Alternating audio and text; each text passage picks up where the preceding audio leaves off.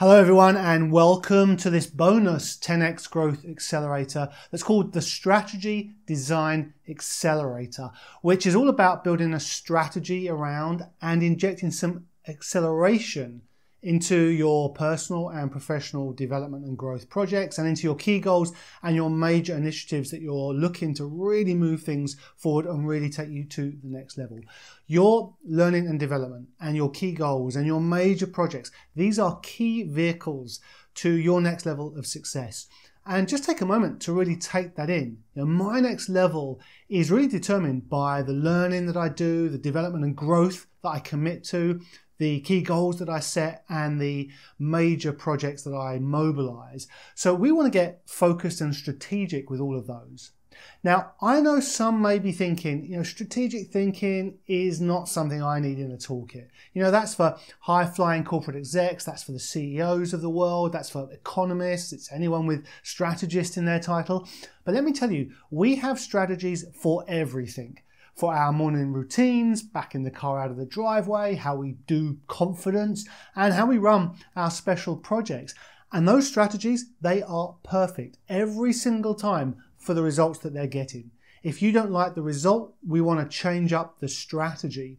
So strategic thinking is a powerful skill to have in the toolkit. And today we'll be pointing that skill at your key goals and your major projects.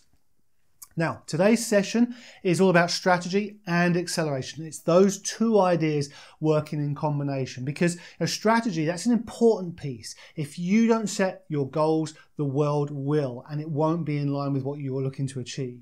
Without a strategy, you're going to be reactive, sporadic, uncoordinated in your approach. And all of that means that nothing has a chance to really build and compound over time. I mean, it's like going to the gym. The gym definitely works, but it's a longer term game. We need to be committed. We need to be consistent with that. So we need a little bit of strategy and structure around it. And without strategy, you won't be able to maximize your investments of time, money, resources, focus, attention, and energy.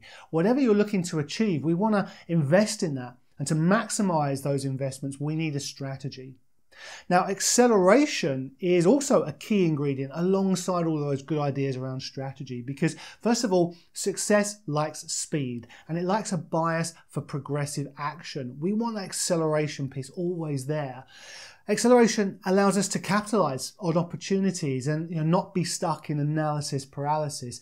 And of course, the landscape is always changing. We want to be working on what's relevant right here, right now. So acceleration is a key ingredient to complement everything we're doing in the strategy space. So let's get strategic. So we set our own path, maximize our investments, and build and compound over time. And let's accelerate keeping things wholly relevant in the right now, taking progressive action, and capitalizing on our opportunities. Now, most people, they don't get strategic with their learning and development, their key goals, their major projects. I mean, we talk about it a lot, but we don't get strategic, we don't get focused. And there are a few key reasons. I mean, first of all, it's just never occurred to people to get strategic, or maybe they're too busy, or it's not worth the effort, it's not a priority. But let's just break some of those down. You know, it's never occurred to them, well, we're taking care of that right now. We're bringing it fully into awareness how important it is to get strategic with the things that are most important to me. Too busy? Well, being strategic is a net time saver. It will maximize your time and your focus. Imagine having, you know, 2 minutes, 5 minutes, 30 minutes free in your day with a strategy in place. You can really maximize that time Without a strategy, you're going to be sort of looking around, hunting around for like, well, what do I do now? I'll just go check my email. So getting strategic, it's a net time saver. If we're thinking it's not worth the effort, well, we're going to waste far more without that strategy in place. If we're thinking it's not a priority, what could be more important? But here's one of the key reasons that people don't generally get strategic with their learning, their development, their goals, and their projects. They believe they can't get strategic. Well, you can. We just don't want to believe that we can get strategic with the things that we want to move forward. We think strategy, as we said at the start, is the you know just the purview of people who are in those corporate roles or in or you know focused at the highest level. No, we can get strategic.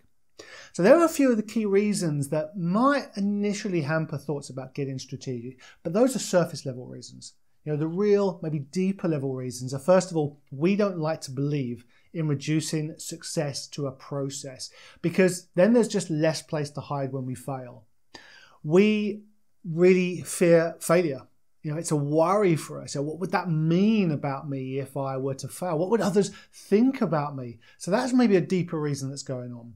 We fear the hardship and the struggle, like it's going to take effort, and we're worried about wasted effort and mediocrity. Maybe just put a little pin in those two ideas. You know, wasted effort. Yeah, we really can relate to that sense of like we're moment, we love the momentum, we want to perform, we want to make things happen. And I don't want to waste time. I don't want to lose my momentum on this. So I get a little bit fearful of the hardship, the struggle, the effort that's going to be, the journey I'm going to go through. And then after all of that, I'm worried about the mediocrity. Like I go through all this process, I really invest, and then I'm really not that good, or I don't quite achieve what I'm looking for. So those things hold us back. And we also worry that we don't or won't have the discipline and this is a really common thing that my clients bring to me. They say, ideas are great, Dan. I can't wait to get going. I just don't have the discipline for this. But the mistake that we're making there is we're defining, defining discipline as equaling to willpower. And discipline equals systems. That's what I want to change up. And that's what we teach in TSP. Now, those are some of the reasons that might be causing a little bit resistance when it comes to getting strategic. But for those that are willing to lean into some of those uncomfortable th- feelings and really push past some of the self limiting thoughts, there is a way to get strategic, time efficient, and results focused. And that's what we're going to share in today's session. So please, as always, grab your notebook and pen, take plenty of notes, think about how you're going to reapply this to your key goals and your major projects, and let's get to work. Now, before we get into the detail of our strategy design model, I want to share with you some principles just to have in mind whenever you're looking at a blank slate and you're about to craft your strategy. So let's think a little bit right now about what a strategy is, some of the common mistakes to avoid, and some of the key qualities of a strategy. And then we'll use those discussion points and those ideas, those reflection points to establish some base principles to really underpin our thinking. And the first thing I want to share with you is just to think very you know, at the foundational levels, what is a strategy? So I have a definition for you that I'd love to share, and I'll put it into today's session notes so that you've got it there as a bit of an anchor to think every time you come back to strategy, what do we really mean by strategy? So here's the definition. Strategy for me is an ongoing process of thought and action that's all about creating best possible results tomorrow with the opportunities that are presented today, and to do so in a way that really aligns with vision, values, and purpose. Now, there's a few key ideas to take out of that definition. First of all, it's an ongoing process. This is something that we want to bake in. Secondly, it's all about alignment with vision, values, and purpose. So, alongside making this a routine habit, scheduling it on the calendar, I always want to start with the vision and values. I want to have that piece alongside everything else that I'm focused on. I'm going to be thinking about goals and achievement and outcomes and the things that I want to really make happen. I want to make sure I align that with the vision that I'm shooting for and values. That is what is most important to me. So, two great questions to take here to make this an ongoing process and to get this element of alignment is to think, first of all, what does ultimate success look like? Really dial into the vision piece. And then, secondly, what's most important to me about this? I think at the level of values. The second principle I want to talk a little bit around is off the back of some common mistakes that we want to avoid. The first mistake when we come to designing and crafting a strategy is we end up creating a plan, not a strategy. So I know I'm creating a plan when I'm too much in the detail. So what I want to do here is I want to keep leveling up the thinking. I want to keep challenging myself to think, am I in a plan here or do I need to level up, come up to the level of strategy? And it's a little footnote. If people are thinking, well, what really is the difference between a strategy and a plan? I mean, in language, we can often use those quite interchangeably. Well, a strategy is longer term, it's at the higher level, and it really deals with the deeper reasons and the base principles that we're going to operate under. A plan is more of the detailed how to, it's shorter term, it's lower level. So you can use those two distinctions to really think about the difference between strategy and plan. There is space and indeed need for both. So keep leveling up the thinking to keep bringing you up to the level of strategy and not getting too much into the detail of a plan. Second common mistake to avoid is failing to align with vision and values. We've already talked a little bit about this. Having that sense of outcome and goals and requirements, those things are just going to happen. You're going to naturally gravitate your thinking towards those. What we want to do alongside that is really have the vision and values. What many people can do is they forget the why. So here the rule is simply to ask, you know, so what? Why is this important? Why do we care? Continually ask, what's my why here? And the third common mistake for us to avoid is that we create unworkable, unsustainable strategies that just don't exist in the real world. They don't ever relate to the day to day. Now, we've talked in previous 10x growth accelerators, and I talk about a lot inside the academy of how high potential, high performing people can be prone to getting unrealistically ambitious in the execution plan. So here we want to have the habit of keeping things at the highest level when we're thinking strategy, but every now and again just dipping into the day to day and really relating it to how's this going to work at the ground level. Think about boots on the ground. I mean, what's going to really happen? What's going to really be needed here to make this thing work? So finding that sort of dualistic balance between the highest level strategy and relating it to the to the day to day. And the third key principle I want to talk a little bit around is just thinking about the key qualities of a strategy. And for me, there are three. There's going to be many elements that we talk about today, but here are the three key qualities of a strategy focus, alignment, and agility. Perhaps you want to jot those three down. So, first of all, focus. We want to think about where we want to focus, but also where we are not going to focus, where we are not going to compete. Every time you come up with a strategy, think about the scope. Here's where we're going to play, and here is where we're not going to play. Here's where we're going to leave alone. This is what we're going to put to one side. Be very intentional about that.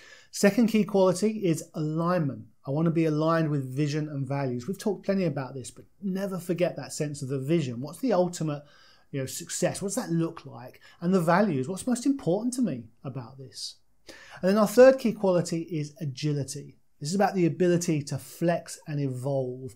And I particularly like the idea of evolution because it really encompasses the balance that we want to strike between being willing to create and make a change when needed, but not just dropping everything at the slightest hitch. I mean, think of any company that you admire, the things that they're achieving. They have a strategy. Now, when they come up against an impasse or some challenge or it's not quite going right, they might do a bit of a review and at key cadence points, they might make a change. But they won't just drop what they're doing at the slightest problem, the slightest hitch, the slightest bump in the road. Strategy is something we commit to over the longer term. So some key ideas to take forward here is first of all paying as much attention where not to compete as where to compete. And secondly, incorporating a real willingness to evolve and finding that balance between um, a willingness to make a change, but not dropping everything at the slightest bump. So, a few key ideas there to really underpin our thinking. Let me summarize them for you now. Making this, first of all, an ongoing process. Bake this into your routine. Make strategic thinking a real habit. Secondly, never overlooking alignment with vision and values. What does success look like? What's most important to me about that? How am I aligned? Thirdly, continually leveling up the thinking. Not being stuck in the detail of a plan, but coming back up to the strategic level. But then alongside that, idea number four, continually relating back to the day to day, making sure that this is based in reality and not completely unsustainable. Fifth key idea I want you to carry forward, making powerful decisions on where not to compete. And six, a willingness to evolve, never overly attaching to some of the ideas that come up. We want to be able to evolve and finding the balance between making changes where necessary, but not hanging on and not dropping everything the moment that something feels like um, it's a bit of a challenge. So take a moment to take those in, have these be some points of learning you really embed, brain tattoos if you like, just little habits that you carry into your strategic planning sessions. And when we come back, we're going to step through our model. So welcome back. And what I'd like to do now is introduce you to a model that you can use for any strategy design that you find yourself needing to step through.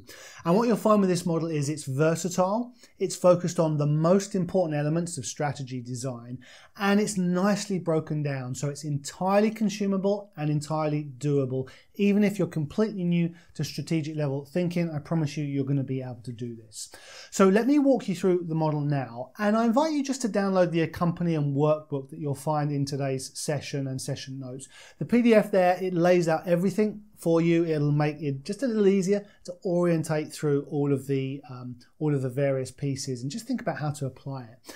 And after our walkthrough today, what I'm going to do is I'm also going to run through a few case study examples so you can really see how this applies out there in the real world, helping you to achieve your next level of success. So make sure you stick around to the very end of today's session for those case study examples. Now, our model has three major elements to it. You'll see them in the workbook. If you're just following along right now and you've got a notebook to hand, maybe jot these three words down. So element number one, foundations. Element number two, requirements. And element number three, design. Now, foundations is going to be all about looking at outcomes, but also that important element that we've talked about today of alignment. Our second major element, requirements, is really getting into the sort of the core essentials, the bedrock requirements, but also thinking a little bit about the secret sauce that we want to put into our strategy to really make it come alive. And then the third piece is design. That's all about the approach, but also setting up the ecosystem in which our projects, our goals, our learning and development are going to move forward. So what we'll do is, first of all, we'll establish the foundations by considering what success look like, looks like, the benefits of those successes as well, and pairing those together, whilst aligning our outcomes with our values and all the you know all the other projects that you're going to be running right now. Then what we'll do is we'll break down the requirement, including what isn't in scope, and we'll also think a little bit about where the competitive edge might come from for you and what might create an unfair advantage and otherwise bring our strategies really to life. And then we'll finish with some design work that will look at um, you know, maximizing strengths and minimizing weaknesses, as well as just to create the ecosystem that really sets us up for success. Alongside the model, we'll also introduce a few principles for acceleration. So, you know, let's make sure that we stay nimble with all of this. I don't want you so much in the analysis paralysis zone that we never get out of the starting blocks. So we definitely want to make it a theme today that we want to work quickly through our model, use the process, use the PDF to take you through that, and then let's get into action. So part one of the model is all about foundations. And again, if you want to follow along, please download the workbook so that you can see how everything fits together. Now, it's all too easy to launch into something prematurely. The enthusiasm is great. We want to keep some of that. We want the hunger, the desire. We want to get into action. But we want to just check ourselves a little bit because we can miss opportunities at the outset. We can overlook issues and we can end up with something that we didn't even want. I mean, have you ever launched into something, really got things going, and then just thinking, I wish I'd taken a beat here because I'm not sure we're on the right path. I'm not sure we're even going for the thing that I actually want when we're when we finish this project. So let's really begin with the end in mind. Let's begin with outcomes. And I want to ask you, what does success look like? And how will you know you've been successful? Now, when you step through this part of the process, spend a little bit of time here thinking about outcomes and the final result. What does it look like? What does it feel like? What's true that maybe isn't true before? How will you know you've been successful? And better yet, how will someone else know? How would I know you've been successful? What are the measures of success? What are our success criteria? So, this is all about outcomes. Now, alongside that, we also want to think about benefits. Why is this good? What will it lead to? What does it generate that maybe wasn't there before? So we have outcomes, the, the actual result that we create, but then the benefits from that. Why is it good? What does it lead to? What does it give us that we didn't have before? The next piece then is alignment. Okay, so I invite you just to think a little bit about your values beneath this project. Values are the things that are most important to us honesty, integrity, um, con- contribution, commitment, all these kind of different ideas that are things that are really important to us at different levels. Some of those are global, macro values, some of those are very personal to us, and they exist beneath the things we're working on. Whenever I have a client come to me and they say, I really want to achieve these goals, they're just not happening for me, what goes off in my mind is that hmm, values conflict. And then there's other times where clients come to me and they say, listen, I, I doesn't even feel like work. I'm absolutely smashing my goals 150, 200%, and it's just no problem at all. I'm free flowing, I'm making these things happen. And what goes on in my mind is, ah, values alignment. So we really want to tap into what are the values beneath this project. So make sure you ask yourself, what's most important to me about this? Is it the impact? Is it contribution? Is it something about relationships? Is it an element of wealth? What's going on for you? What's most important to you about this? How can I align with those values? So, this is also a good stage, this foundational stage, to begin thinking about the ecology of your project. Now, ecology means how everything fits within the system, and it's very useful to check in on this. That idea that I mentioned earlier, prematurely launching into something and then thinking, I wish I'd taken a beat because it doesn't quite fit. So, a great question I want to give you here is if I had it, would I want it? Okay, if I had it, would I want it? I give that question to so many of my clients, and they say, Well, of course I do. I'm here telling you about these the goals that I want, but take some time on this well, do I want to go through all of this effort and then end up with something and then realize, you know what? I didn't want that. And that can be a great question to ask when you've looked at outcomes, when you've thought about the benefits, and when you've thought about values. So if I had it, would I want it? What will this lead to? Do I want that? Will this conflict with my other goals? Will it conflict with my current setup or indeed my future setup? Maybe it's going to be a contradiction to where I'm actually going. Does this outcome preserve existing benefits? When don't I want the outcomes from this and the benefits from this project? Um, what else will achieving this goal affect? What is the cost of achieving this goal? Is it worth it? That's a great question to come to. Is it worth it?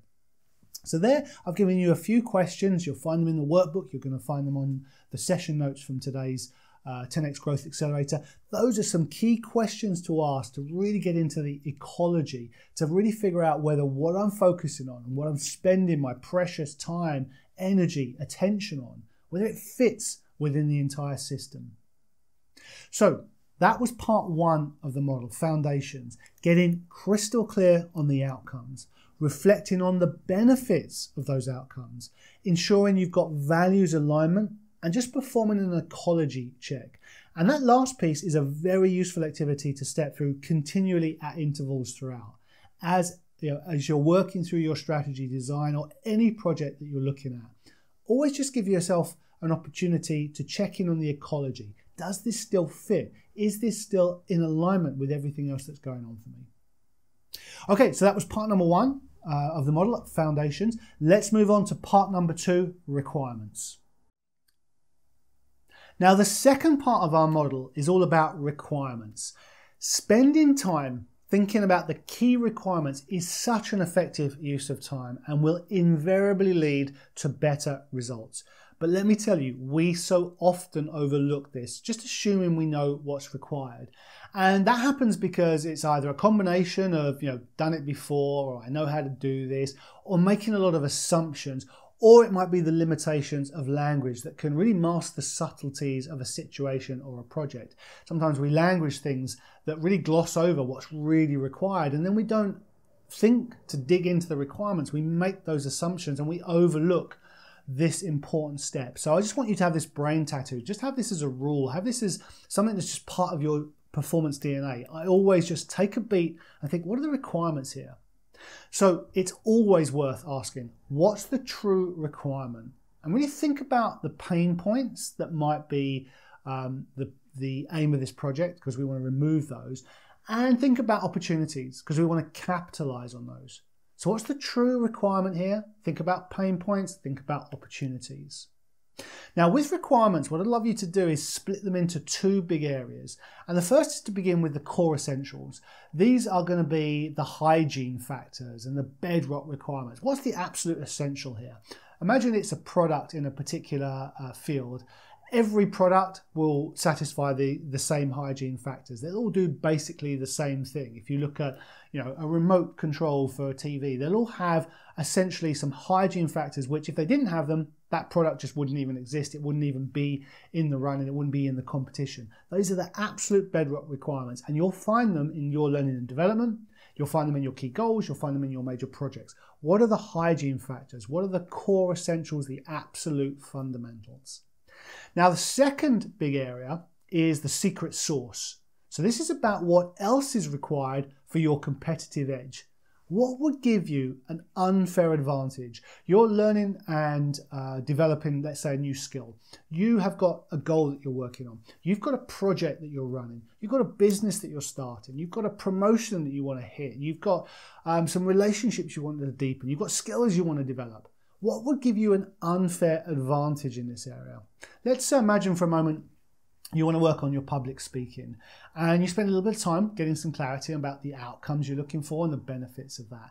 And then we start to think about the requirements. Well, there's some very basic requirements, but then we want to add like some, you know, some competitive edge, some secret sauce that really gives us that unfair advantage. Most other people are just going to read a few books and say, yeah, okay, I've understood a few key elements. Maybe they'll go on a course, but what would the secret sauce be here? It would be, let's say, practice opportunities. I'm going to, you know, practice in work, in the real world, in public, five times every single week. That's once a day. Okay, I'm going to build a confidence meditation. So I really build a strong confidence and have a really good pre-game ritual that takes me into the right zone before I do my public speaking. That's going to give me an unfair advantage. I'm going to learn about storytelling. It's a little bit of a tangential skill, but it's really going to play into my ability to become a great public speaker. This is what we're talking about about finding competitive edge from secret sauce, finding a way to get an unfair advantage.